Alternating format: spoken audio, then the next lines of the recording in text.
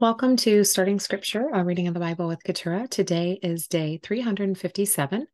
We are reading uh, 2nd John, 3rd John, and 1st Timothy 4 through 6.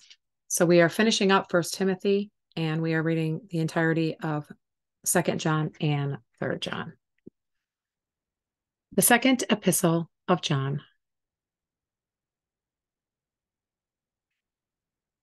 Greetings. This letter is from John, the elder. I am writing to the chosen lady and to her children, whom I love in the truth, as does everyone else who knows the truth, because the truth lives in us and will be with us forever. Grace, mercy, and peace, which come from God the Father and from Jesus Christ, the Son of the Father, will continue to be with us who live in truth and love. Live in the truth how happy I was to meet some of your children and find them living according to the truth, just as the Father commanded. I am writing to remind you, dear friends, that we should love one another. This is not a new commandment, but one we have had from the beginning. Love means doing what God has commanded us, and He has commanded us to love one another, just as you heard from the beginning. I say this because many deceivers have gone out into the world. They deny that Jesus Christ came in a real body. Such a person is a deceiver and an antichrist. Watch out that you do not lose what we have worked so hard to achieve. Be diligent so that you receive your full reward. Anyone who wanders away from this teaching has no relationship with God, but anyone who remains in the teaching of Christ has a relationship with both the Father and the Son.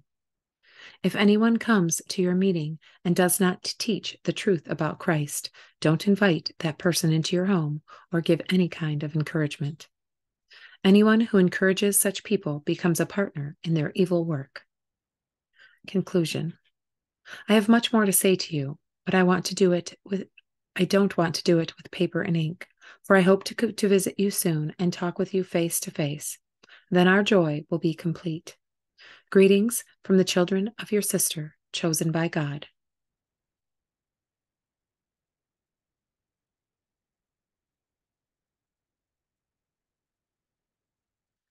The third epistle of John.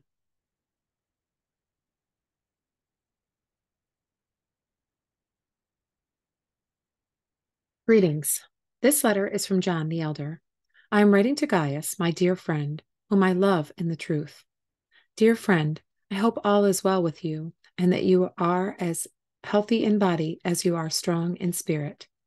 Some of the traveling teachers recently returned and made me very happy by telling me about your faithfulness and that you are living according to the truth. I could have no greater joy than to hear that my children are following the truth. Caring for the Lord's workers.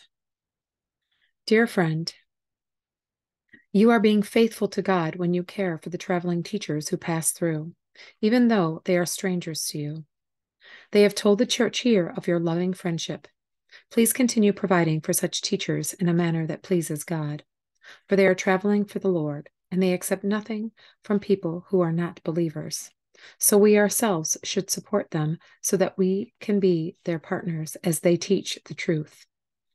I wrote to the church about this, but Diotrephes, who loves to be the leader, refuses to have anything to do with us. When I come, I will report some of the things he is doing and the evil accusations he is making against us.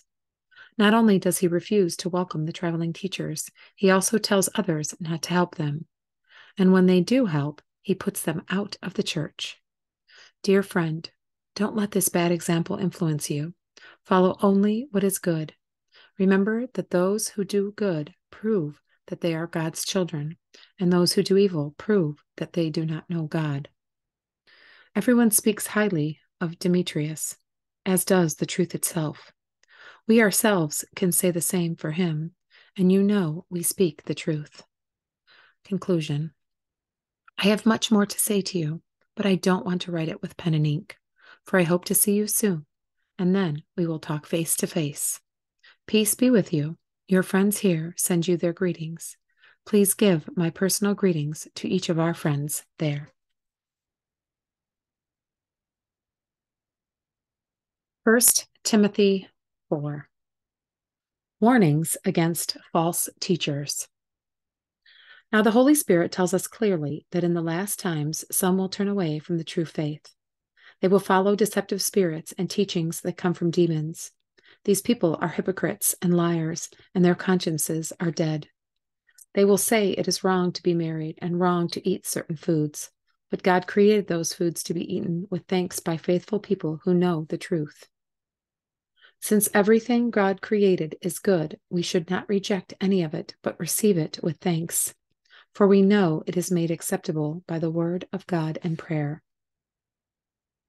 A good servant of Christ Jesus. If you explain these things to the brothers and sisters, Timothy, you will be a worthy servant of Christ Jesus, one who is nourished by the message of faith and the good teaching you have followed.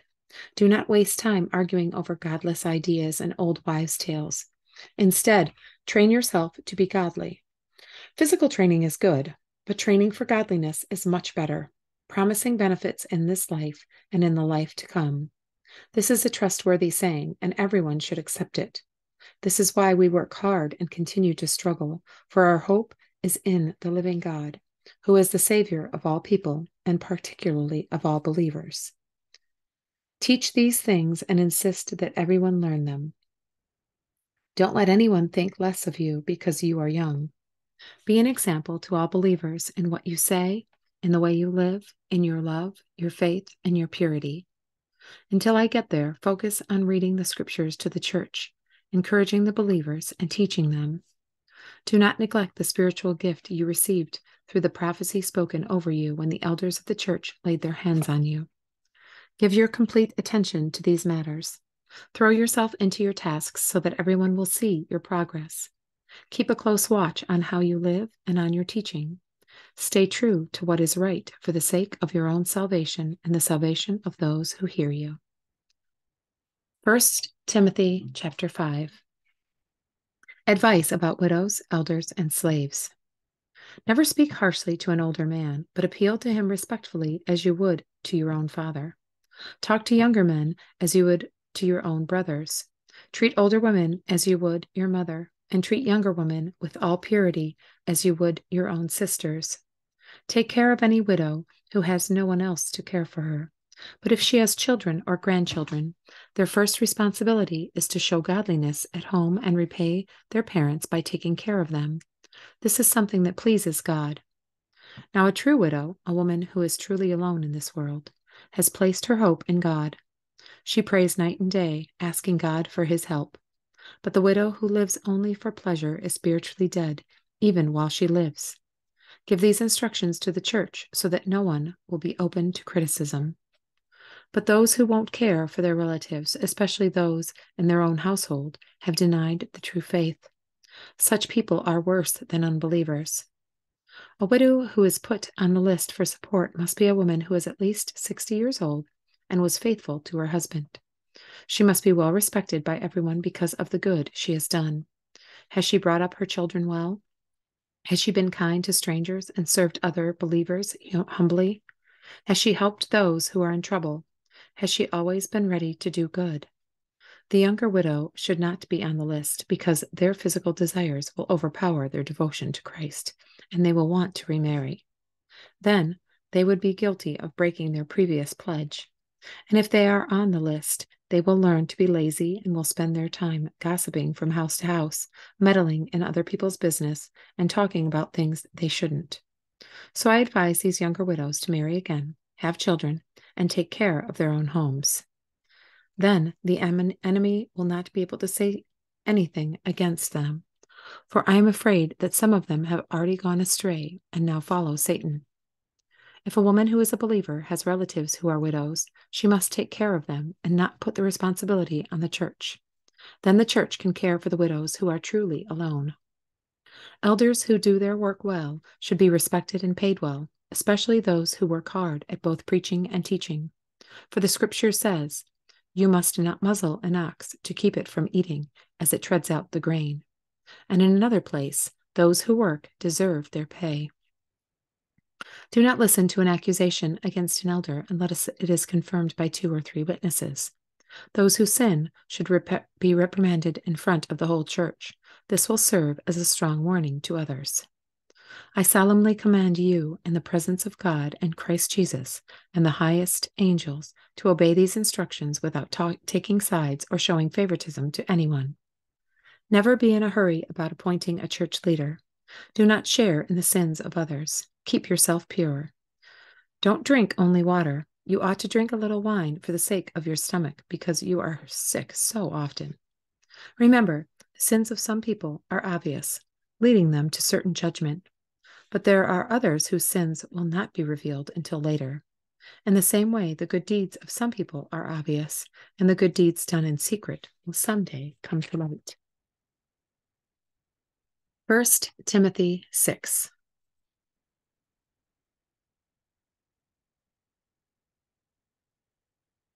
All slaves should show full respect for their masters, so they will not bring shame on the name of God and his teaching. If the masters are believers, that is no excuse for being disrespectful. Those slaves should work all the harder because their efforts are helping other believers who are well loved. False teaching and true riches. Teach these things, Timothy, and encourage everyone to obey them. Some people may contradict our teachings, but these are the wholesome teachings of the Lord Jesus Christ. These teachings promote a godly life. Anyone who teaches something different is arrogant and lacks understanding. Such a person has an unhealthy desire to quibble over the meaning of words. This stirs up arguments ending in jealousy, division, slander, and evil suspicions. These people always cause trouble. Their minds are corrupt, and they have turned their backs on the truth. To them, a show of godliness is just a way to become wealthy. Yet true godliness with contentment is itself great wealth. After all, we brought nothing with us when we came into the world, and we can't take anything with us when we leave it. So if we have enough food and clothing, let us be content. But people who long to be rich fall into, the t- into temptation and are trapped by many foolish and harmful desires that plunge them into ruin and destruction. For the love of money is the root of all kinds of evil, and some people, craving money, have wandered from the true faith and pierced themselves with many sorrows. Paul's final instructions. But you, Timothy, are a man of God. So run from all these evil things. Pursue righteousness and a godly life, along with faith, love, perseverance, and gentleness. Fight the good fight for the true faith. Hold tightly to the eternal life to which God has called you, which you have confessed so well before many witnesses. And I charge you before God, who gives life to all, and before Christ Jesus, who gave a good testimony before Pontius Pilate, that you obey this command without wavering. Then no one can find fault with you from now until our Lord Jesus Christ comes again. For at just the right time, Christ will be revealed from heaven by the blessed and only Almighty God, the King of all kings and Lord of all lords he alone can never die, and he lives in light so brilliant that no human can approach him. No human eye has ever seen him, nor ever will. All honor and power to him forever. Amen. Teach those who are rich in this world not to be proud and not to trust in their money, which is so unreliable. Their trust should be in God, who richly gives us all we need for our enjoyment. Tell them to use their money to do good, they should be rich in good works and generous to those in need, always being ready to share with others. By doing this, they will be storing up their treasures as a good foundation for the future so that they may experience true life. Timothy, guard what God has entrusted to you. Avoid godless, foolish discussions with those who oppose you with their so called knowledge. Some people have wandered from the faith by following such foolishness. May God's grace be with you all.